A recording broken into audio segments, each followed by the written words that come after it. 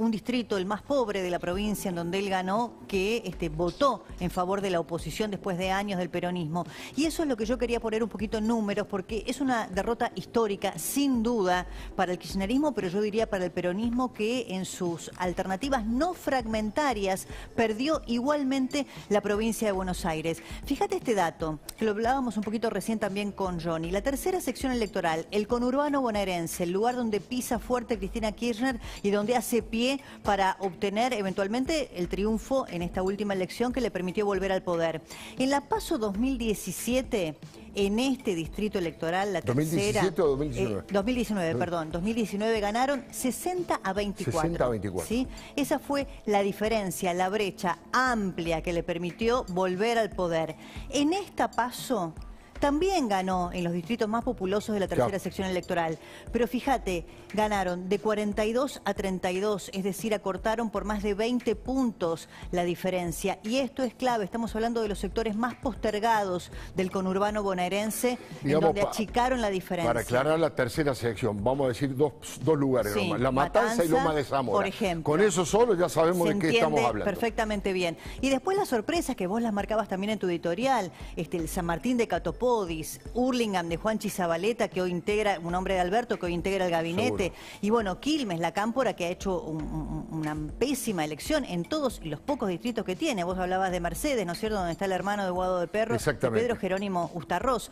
Eh, y esto eh, es un poco ponerlo en números o bajarlo a números y también hablar del otro gran tema que nosotros veníamos siguiendo, que es el Senado para Cristina Kirchner. Esto también no tiene precedentes. ¿eh? Aquí en este programa vos anticipaste esta posibilidad. Y esto no, tiene antecedentes para, para el peronismo prácticamente desde el retorno a la democracia. Solo lograron triunfos en Catamarca y en Tucumán, perdieron Córdoba, Santa Fe, Mendoza, Corrientes, Chubut. Y esto pone en, en serio riesgo la posibilidad de que Cristina conserve el poder. ¿Cuál es el poder en el Senado? El quórum, esa mayoría automática que le permitía sacar los proyectos que quería, entre ellos la reforma judicial y fundamentalmente lo que a ella le importa, que es la reforma del Ministerio Público. Bueno, si la elección de noviembre repite estos números, ese proyecto de Cristina en el Senado de, cooptación absoluta termina, termina. ¿Y por qué también vos decías los mariscales de la derrota? Esto es Cristina. Vamos a Alberto Fernández y vamos a ponerlo en números, en datos. Alberto Fernández, fíjate lo que hizo este, respecto de la dilapidación del capital político que se suponía llevó y que Cristina Kirchner este, eh, eh, en esta anomalía política decidió traerlo este, a la fórmula para ganar la elección.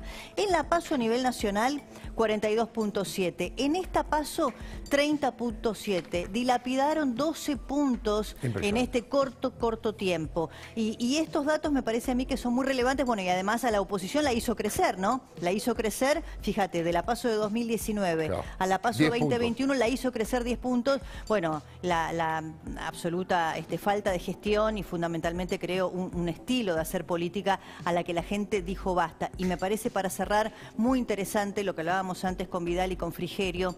Hay una novedad política para mí en la Argentina, que es un votante no dogmático, no aferrado dogmáticamente a una ideología ni a un partido político, que está dispuesto a ir o a venir de cualquier fuerza política siempre y cuando le resuelva sus problemas más elementales que hoy en la Argentina pasan por la seguridad, la economía y la salud.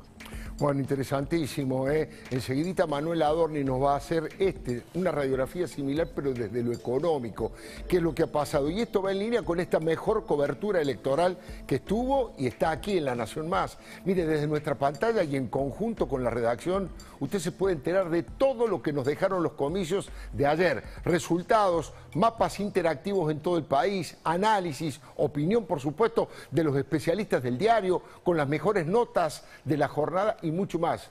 Suscríbete a La Nación con la promo especial que aparece en pantalla.